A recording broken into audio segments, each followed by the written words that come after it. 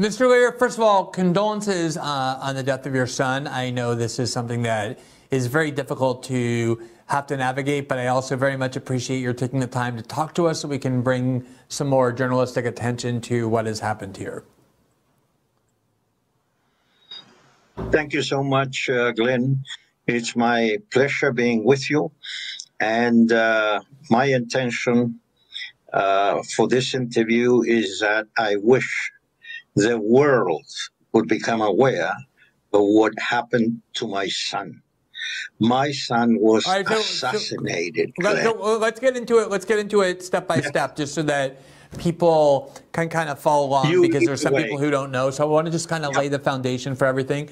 Um, I have seen, I have seen, as I've been talking about this case, and other people have been talking about this case, some of the most rabid supporters of Ukraine who peddle disinformation all the time, actually calling into doubt whether or not your son even died in a Ukrainian prison, whether he's still in a Ukrainian prison, whether he's still alive. How did you find out about the death of your son, and what is it that you learned about the circumstances of his death when you were told that this has happened? Well, the process was uh, very simple.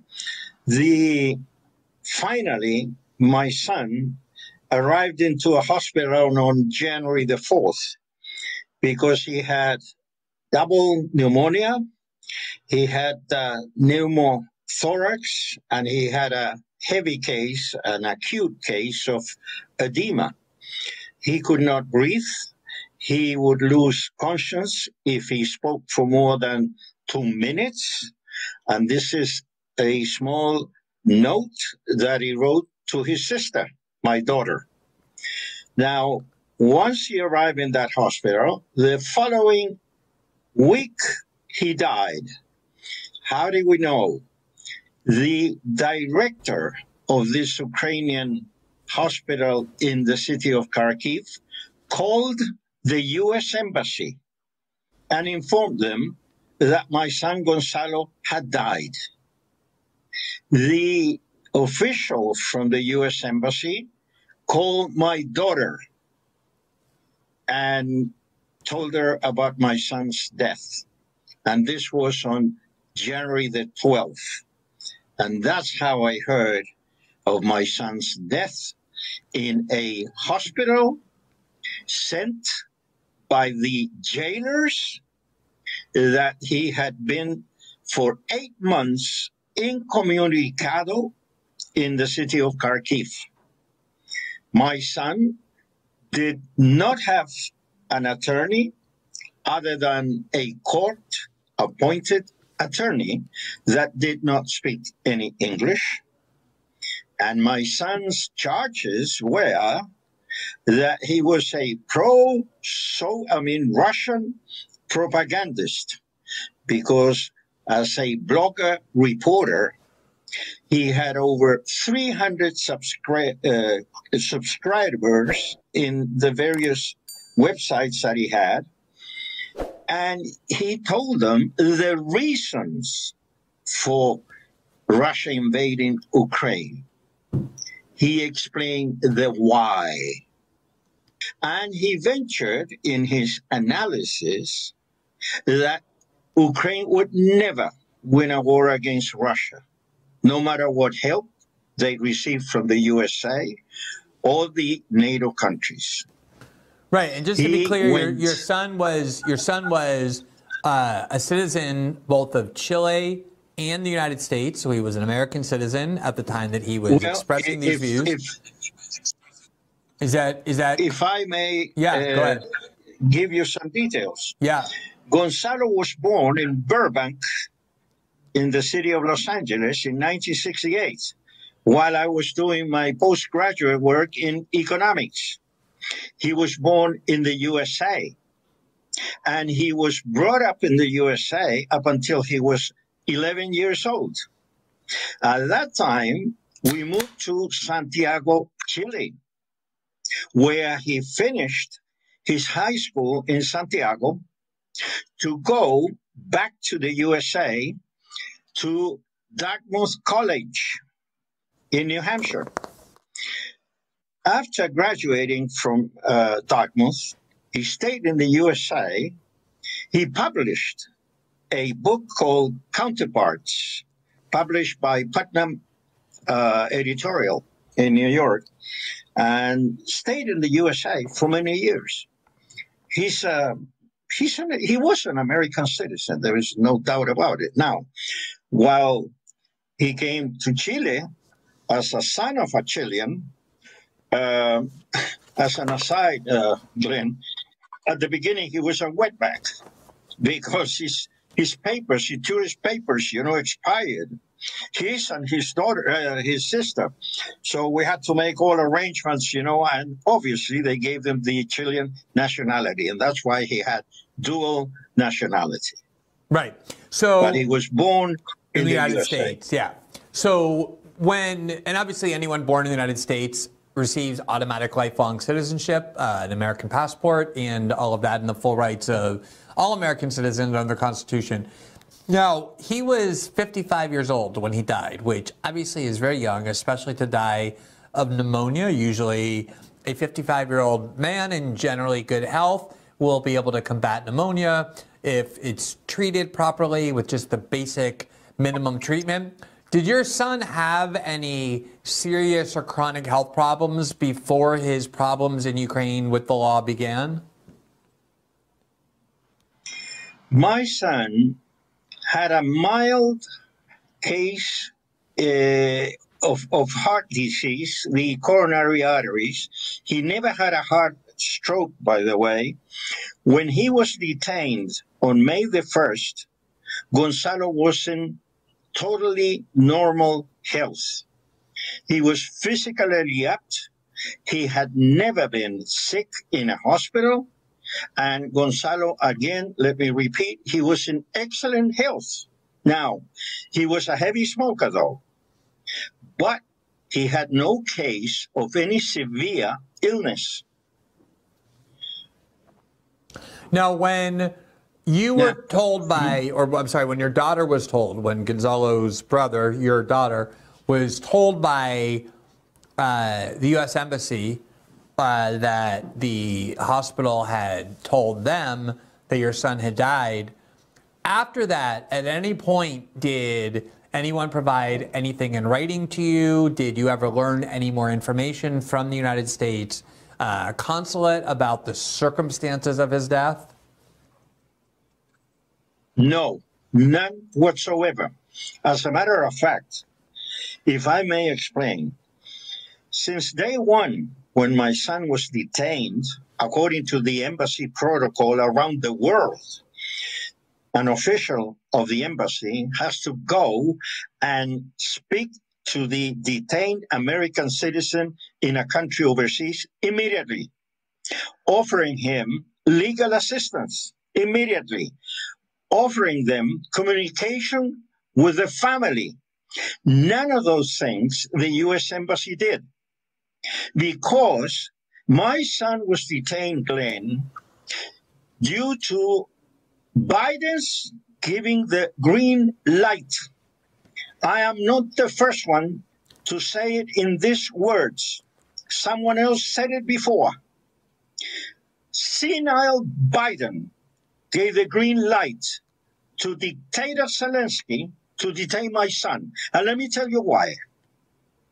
My son was detained the first time by the SBU, which is the local Gestapo, in the year 22.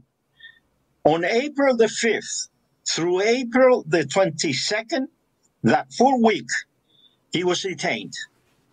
Then released without any legal charge, no charges on, on him. But of course, those savages stole all his equi- electronic equipment, stole money from him, and he came back to an apartment that had been ransacked. He recovered all of his equipment and continued with the same language, criticizing bloody, sinister dictator Zelensky and the way the war was being carried out, venturing on March 22nd, a week, a month after the invasion.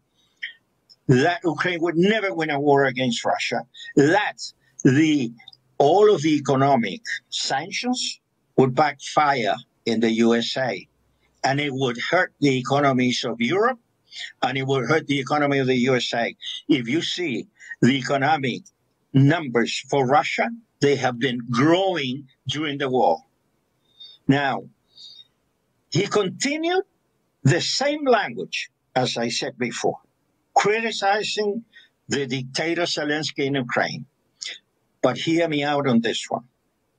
After a full year after being detained and released those seven days, Gonzalo, for the first time, put a video criticizing senile mm-hmm. Biden, as he referred to President Biden, and stupid Kamala Harris, as he referred to the vice president, because he said, I have never seen a woman so stupid as Kamala Harris. He went on to criticize Biden on the 27th of April, the year 2023. Four days later, Gonzalo is detained by machine gun soldiers in mass, at least 12 of them went to his apartment to break down practically the door of his apartment and they detained him four days after he criticized for the first time senile Biden. Right. I think it's now, worth emphasizing there, by the way, that as an American citizen, obviously he has the absolute right to criticize the president and the vice president in as harsh of terms as he wants. And there's plenty of other people saying what he said about Absolutely. Joe Biden and Kamala Harris. But it, I remember, you know, as somebody who's been covering this war, watching his reports from Ukraine, his YouTube reports and others, and was amazed at the courage that it took after he was detained at the start of the war, seeing how dissidents were being treated in Ukraine, to continue to speak out so boldly, so forcefully. Now, let me just, I want to, I'm sure you, I know you've seen this before, but for those people who haven't, he posted a video on July 31st, 2023. And it's amazing because the criticisms that you have been explaining that he voiced, which I remember at the time, all basically turned out to be true. That Ukraine had no chance to win, that it would end up harming the European and American economy while bolstering the Russian economy. But here in July, uh, the last day of July 2023, he basically posted a video knowing that if he wasn't saved by the U.S. government, if people didn't intervene to get him free and to get him out of that country, he knew exactly what would happen, which was that he would end up being killed in prison. So let's just watch this video for those who haven't seen it, and then I want to hear your reaction to it. My case originally started as a free speech issue. But because of the SBU and the inherent corruption of the SBU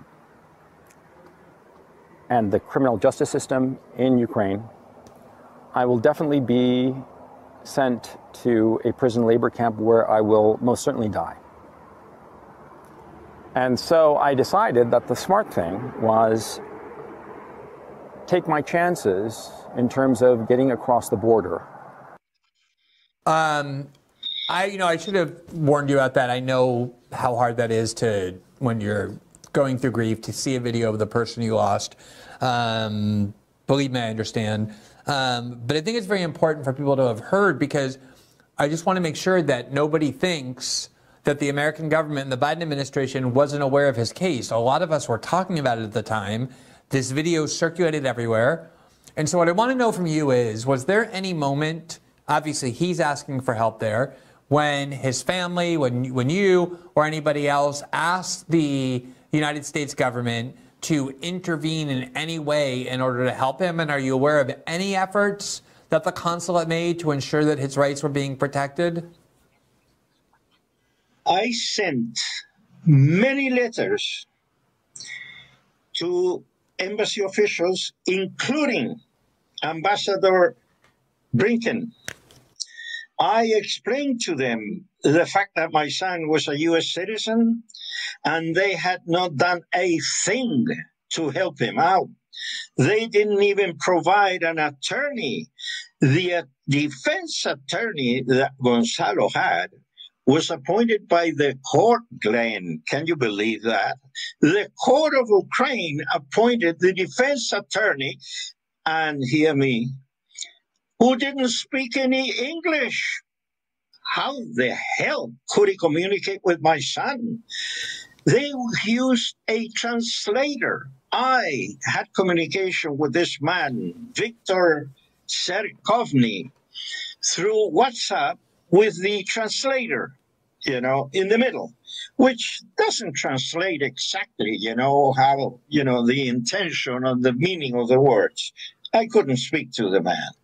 Now, the U.S. Embassy's behavior was unbelievable. I mean, they wanted Gonzalo to die. And I was always asking myself before falling asleep, was my son that important? He had 300 and some subscribers. He had hundreds of thousands of viewers. But had he become that important that merit to detain him? I mean, it's outrageous. What have I done so far since my poor son died? I have uh, placed in the Secretary of State uh, Department the Freedom of Information Act. I want to know all correspondence documents between Mr. Blinken, Victoria Nuland, and the lady ambassador Brink of the USA in Ukraine that transpired between January the 1st of the year 22 concerning my son Gonzalo. I want to know all communication exchanges between that area and the government of Ukraine or any official of the uh, Ukrainian government. Because what they did to my son is an assassination. My son did not have any criminal charges. My son used the power of freedom of speech. I even marched in the year 1965, UC Berkeley, Mario Savio, free speech movement, the anti-war, the anti-Vietnam War. I marched in those years, Glenn. I was studying at that time in the USA. I lived many years in the USA, and I cannot condone this terrible government that the USA has, that has no place in the White House. We had never had a worse government than this one. This man, Biden, is responsible for my son's assassination because the judgment, the trial never came. They arrested him. He had been in jail for eight months without a trial. And why? I read in different places in Ukraine that many of the political opposition to Zelensky, they would be detained by the SBU, exactly as my son was detained. And they would keep them in jail for months because what were they doing? Their intention was to make them ill and have them die of natural causes. That is what they did to my son Gonzalo Lira, those criminal dictator that that the USA is maintaining. How much money is Zelensky getting from the 115 billion that we have accounted so far? How much has plowed into his pocket? And how much is Hunter Biden getting? You know, I think, I think I think one of the important things to note here is that obviously the United States government has influence with most countries, probably more than any country. It has the most influence in Ukraine given the fact that the Ukrainians are completely dependent on the largesse of the American government to pay for their war, to prop them up. We're going to pay for the reconstruction of Ukraine once this war is done and once we've helped destroy it. And had the Biden administration even lifted a finger in defense of your son, he would have obviously been released from prison without having been convicted of a crime, and certainly they would not have been allowed to cause him to die in the way that he did. Thanks for watching this clip from System Update, our live show that airs every Monday through Friday at 7 p.m. Eastern exclusively on Rumble. You can catch the full nightly shows live or view the backlog of episodes for free on our Rumble page. You can also find full episodes the morning after they air across all major podcasting platforms, including Spotify and Apple. All the information you need is linked below. We hope to see you there.